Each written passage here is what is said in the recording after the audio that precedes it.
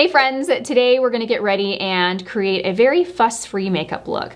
I grabbed some of my favorite products. These are products that are just really high performing and we're gonna create a look that is simple, doesn't take a lot of time, and is really a look that you can take from day to the office to a dinner out. It's not super glam, but it's also like very polished and pulled together. I did team up with Nordstrom, so all of these products I'm gonna link down below in the description box with shade names that you can pick up at Nordstrom. Before we get started, I also wanted to talk about a little bit of new skincare that I picked up from Nordstrom. I picked this all up over the weekend. I have been in my skincare era. I'm 41 years old and you know, my skin's changing. It has been for a couple of years.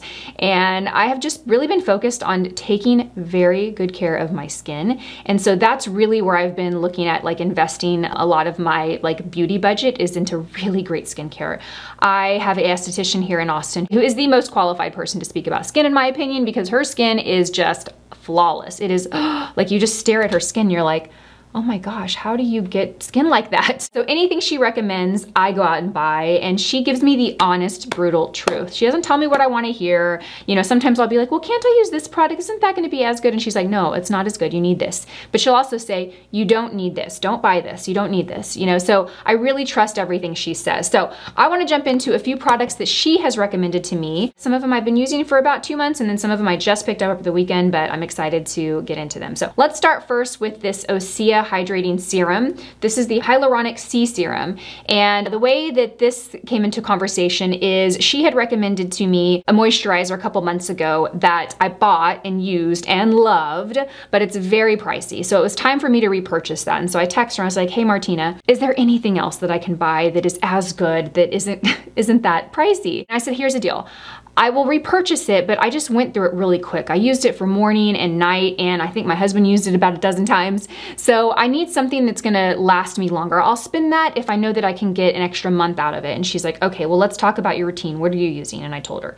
And she's like, you need to be using a hydrating serum regularly. Now, I've used hyaluronic serums. You guys have seen me use them here. I, I like to prep underneath my eyes with them. So it's not a new product to me, but it's not a product that has been a staple in my routine. So she's like, go pick up this one from Osea. It's a really great brand brand and I really love this hydrating serum. So I just grabbed this this weekend. I've used it the last four mornings. It's really nice. I do love this brand. It's a very lightweight serum. It plumps up fine lines and wrinkles. It also has like snow mushroom in here, which adds like a layer of hydration to the skin. I'm gonna put this underneath my eyes now to prep for concealer because I have done my skincare this morning and I've already applied my tinted SPF, so I don't wanna apply this all over the face and kind of break that up. It feels very, very nice. So I picked this up. I'm excited to dive into this and use this. Now I did repurchase that product that she got me hooked on a couple months ago.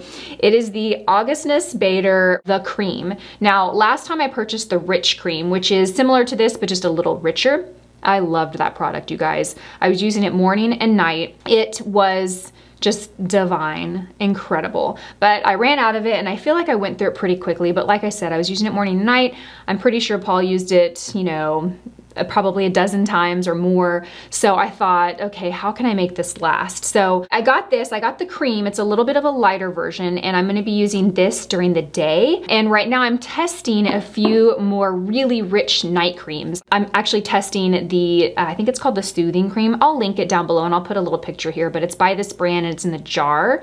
It's like the most rich moisturizer. And they gave me a sample of that from Nordstrom. So I'm testing that at night. But I also picked this one up from Osea. It's the the Collagen Dream Night Cream. I just love the texture of this and you know, this was a brand that came recommended from Martina. I've also used a lot of their body products and really enjoyed it. Oops. I've also used a lot of their body products and really enjoyed them. So I tested this at Nordstrom. It Oh, the smell. It smells like a spa. It smells like a very high-end luxe spa. It's like eucalyptus or lavender or one of those just really divine scents. So I thought at night when I'm going and doing my skincare ritual, smelling this every night will be a treat. So I'm testing this out. And then one other product that I picked up that I'm really excited to incorporate into my skincare routine is the Solawave Facial Wand.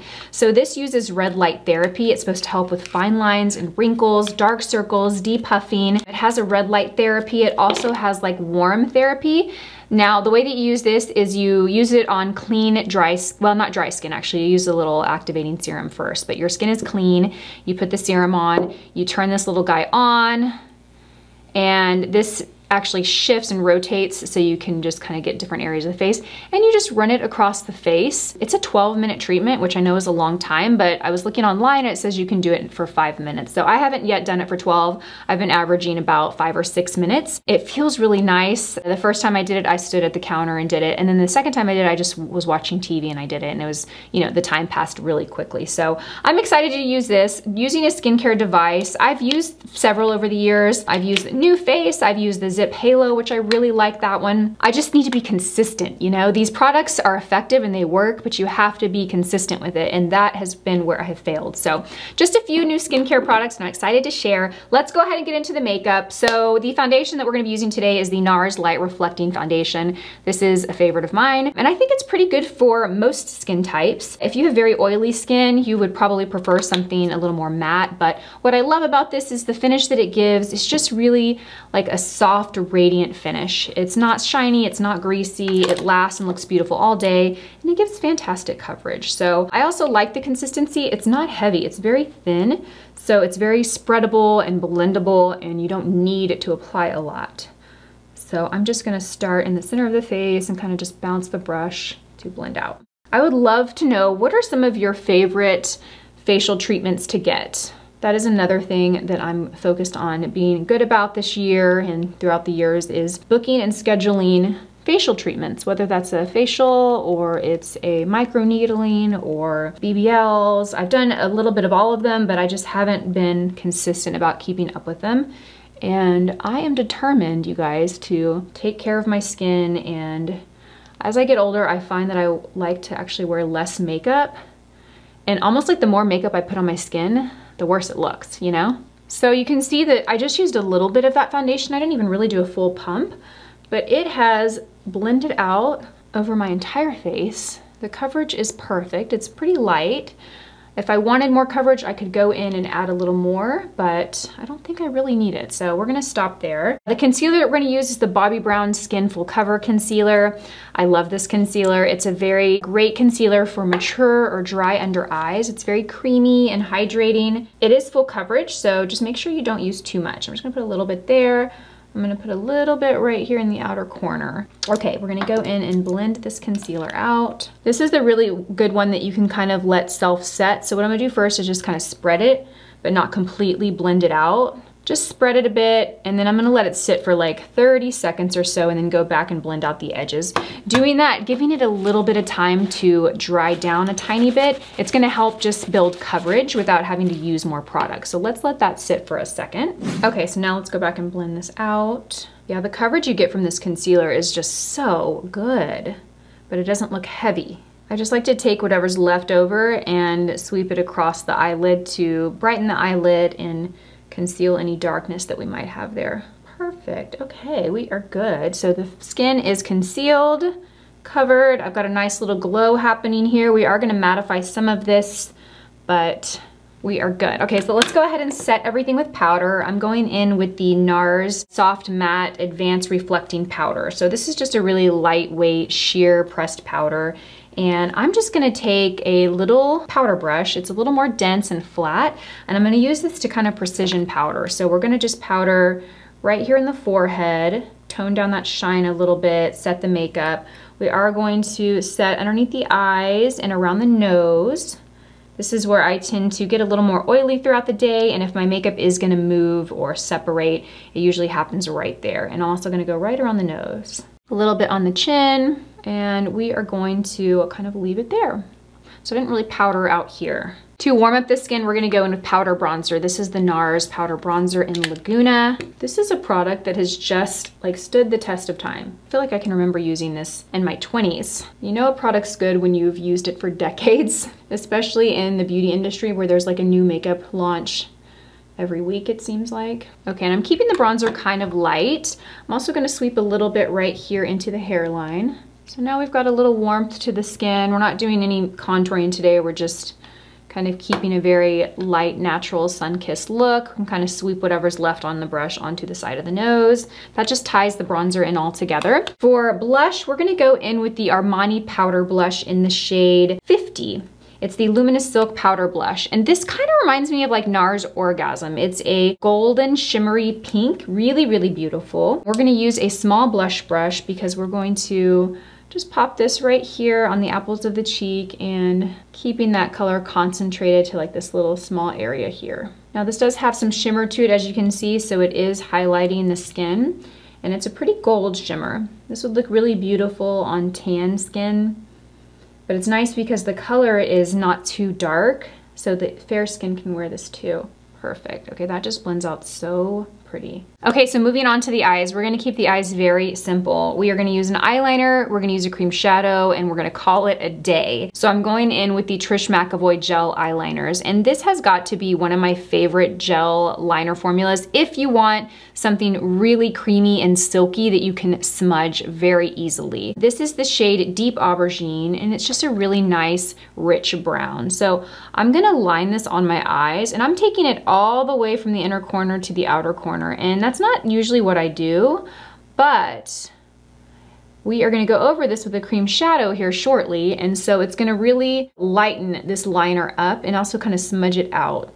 So you don't have to be perfect with this line, you really don't. Your main goal right now is just to get this liner at the lash line to create some intensity and richness there. Do you see that? I mean, it's just stunning. Next, I'm gonna go in with the cream shadow. I'm going to take a little crease brush, and it's a little more of a dense crease brush, so that I can pick up the shadow and apply it on the lid and smudge out this liner. So we're gonna start and we're gonna apply it right at the base of the lashes first to really work that liner before that liner has time to set. You can also do this one eye at a time. If you don't wanna work real quickly, do one eye at a time so that liner doesn't have time to dry down before you get to the other eye.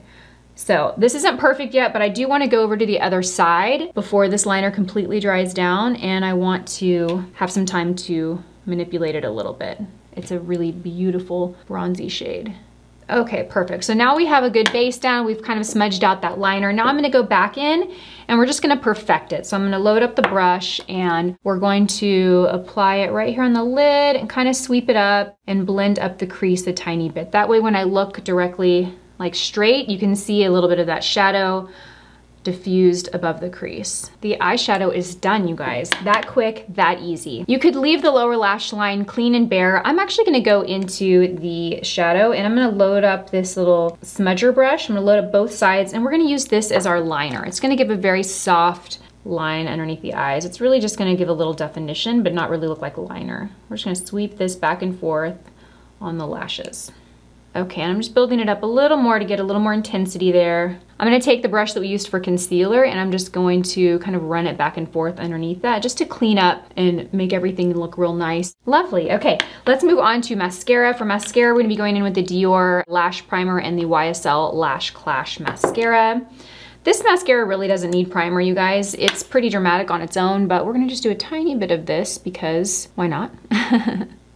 Since we're keeping the eyes kind of light and basic and there's not a whole lot going on in terms of shadows, we're gonna go extra dramatic with the mascara.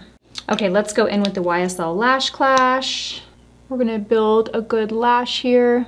This mascara is really dramatic. Tons of volume, lots of length. I can only think of like one other mascara that is this dramatic. It's the Jones Road.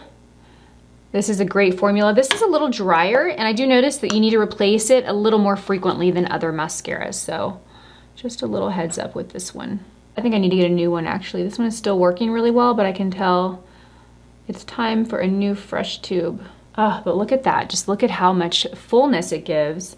On the lower lashes, I'm gonna keep it very light, like just a couple of tiny little sweeps to pass over the lashes. To line the lips, I'm gonna go in with Charlotte Tilbury Pillow Talk, and this is the original Pillow Talk. I also love medium two if you want a little more color. This is really good as a lip cheat. Like if you want to overline the lips slightly, this is a great color because it is just like a light, soft, natural lip color. So when it fades, it's gonna look really natural. To top it, we're gonna use the Gloss Sticks from YSL. This is the shade 13 it's kind of like this really pretty, like peachy shade. These are really nice. It's like a lipstick, but it's super glossy on the lips. I have them in a few shades and I really like them. Oh, look at that color, so pretty. Good amount of color. You can really build it to get full color. A lot of products like this tend to lean on the more sheer side and you can get a sheer wash of color from this, but you also can build it up to get like full opacity. So these are really nice. And that's the finished look. Super simple. You could pull this off at home in about eight minutes, definitely 10 minutes or less. There's not a whole lot of steps or fuss, but as you can see, you have a full polished look. I mean, this look could take you to evening, it could take you to meetings, but it's not too much for daytime. It's just really, really easy, fuss-free. I hope you guys enjoyed this video. I'm going to leave all the links and shade names in the description box below. Thanks so much for watching, and I will see you guys in my next one. Bye.